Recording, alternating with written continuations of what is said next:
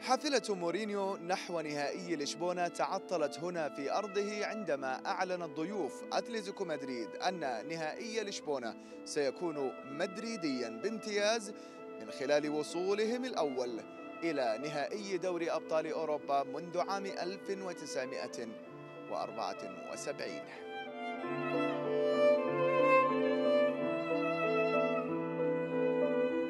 We don't have a team to win the Champions League, so proved it tonight. We, we didn't do enough. I think the Madrid were better on the night. They played some good football and took their chances. Maybe in the first half of the first half, there was that kind of thing, and then for some reason something happened, and it was just like no one was even pretending to.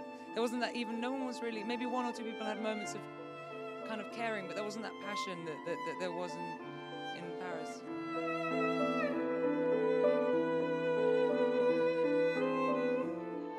It is beyond expectations. But as Mourinho said, we weren't ex- we were not expecting to win Premiership or Champions League. We've done very well. We could still win the league. City and Liverpool slip up, we might be up there. But Champions League, it's up to Madrid.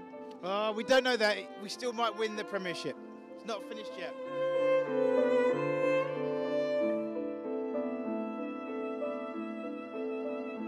We weren't expecting too much in the first season.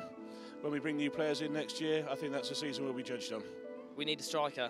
We need a striker. Diego Costa, I'll have him any day. I think the capacity of the side isn't actually that high, but we've fulfilled it to what we can do with what we've got. two or three players are are going. Maybe uh, we'll find some new uh, players, but uh, actually, not, nothing is sure.